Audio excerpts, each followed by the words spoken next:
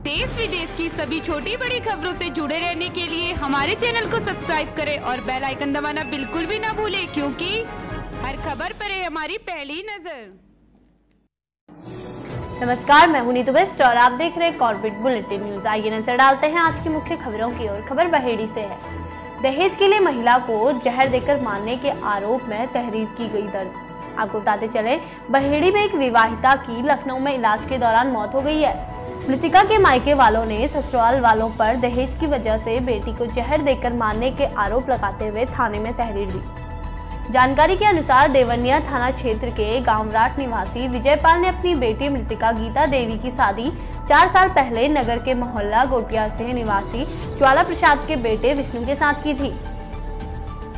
कृतिका के भाई चंद्रपाल ने पुलिस को दी तहरीर में बताया कि उन्होंने शादी में अपनी हैसियत के अनुसार दान दहेज भी किया था। जिसके बाद अक्सर ससुराल जन दहेज कम लाने को लेकर उसे ताने देते रहते थे और दो लाख रुपए और लाने को लेकर प्रताड़ित करते रहते थे। इस बीच महिला को एक बच्चा हुआ, जिसके बाद महिला को दो लाख रुपए और दहेज लाने की मांग करते हुए घर से निकाल दिया गया।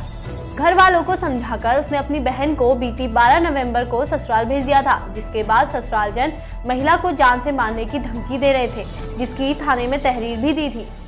13 नवंबर को किसी अनजान व्यक्ति के फ़ोन आने पर उन्हें बताया गया कि उसकी बहन को ससुराल वालों ने मार दिया है।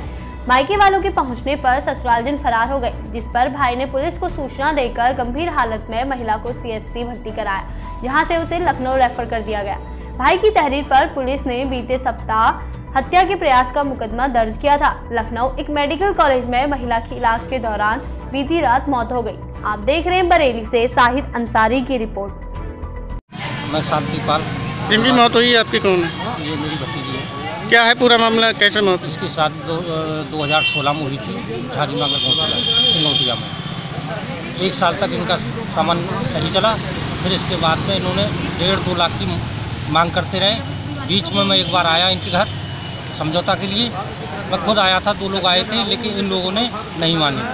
लड़की को बहुत ज़्यादा तंग किया। इसके बाद में मैं रिक्शा स्टेशन से आगे निकला था, तब तक इस लड़के ने अपना हाथ काट लिया। फिर इनने पैसे दिए इस लड़की को इलाज के लिए। पैसे दिए और माल छुटवाया लड़की के पिता ने। इसके बाद में अब आके जमदिया वाले उसको जहर दे दिया। डॉक्टर अरोड़ा के यहाँ आई यहाँ छोड़ के भाग गया फिर यहाँ से रेफ़र किया बरेली के लिए। बरेली से लेके, बरेली तीन चार दिन इलाज चला, फिर वहाँ से रेफ़र कर दिया लखनऊ। लखनऊ उसकी डेथ डेथ के बाद में वो लोग भाग गए क्या भाग गए फरार है। ताले पड़े घर घर में। और कोई पैसा इलाज के लिए नहीं। दिया मामले इससे पहले जब जहर दिया था आपने कोई सूचना वगैरह पुलिस को दी थी? जी जी जी। आप क्या चाहते हैं?